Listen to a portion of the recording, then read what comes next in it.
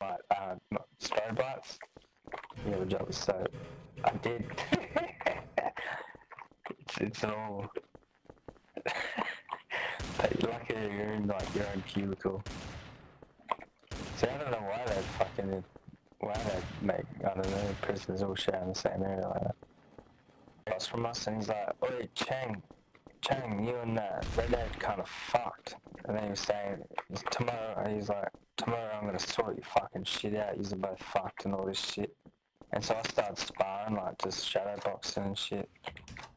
I love doing that, bro. My stomach just had to fucking put up with it. And I really got angry. He's like, fucking, this ain't no nightclub, man. This is fucking prison, bro. Stop dancing, cunt. Whoever that originally, fucking, he was Asian. But he was cool. He was a crackhead as well. He sold crack, smoked lots of crack. What? Dude, I'd love to see a dog on heroin.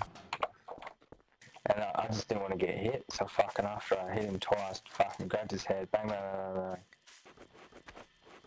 bang. RuneScape stories. Hungry, man. Can you hear that? Can you hear my belly rumble? That was my belly, bro. I could go some Macca's right now. In synthetic weed, bro. I had some of the most horrible trips. Even like made me violent, bro. Made me want to smash the biggest cunt that was near me, you know? Yeah, I'd love to see a dog on heroin. Dude, I'd love to see a dog on heroin.